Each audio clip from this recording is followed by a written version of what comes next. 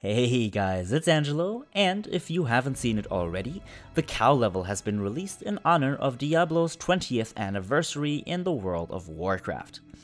Inspired by the cow level from the Diablo series, you can enter this zone by killing a treasure goblin at the end of a dungeon, if you are lucky enough to have one spawn after your run.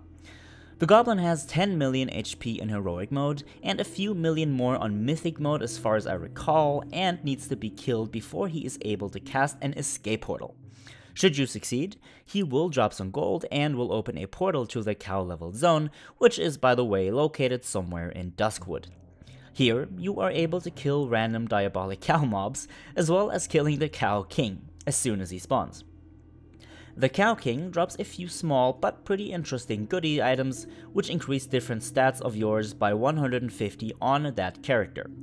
As far as I was able to tell personally, some of these do work in a raid environment, at least the armor one did for me. You also get a cool little toy guitar along with a pretty awesome achievement. I think this is a cool idea to add a bit of external flair to the game and gives everyone a little something to do on the side. So the next time you run a dungeon, be sure to check and see if the treasure goblin has spawned, and if so, go right ahead and enjoy the anniversary event. Now, as always, I hope you have enjoyed this video, and if so, feel free to leave a like and or even subscribe.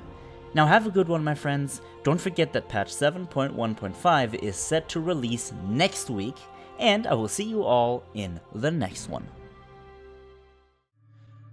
lifetime in repeat.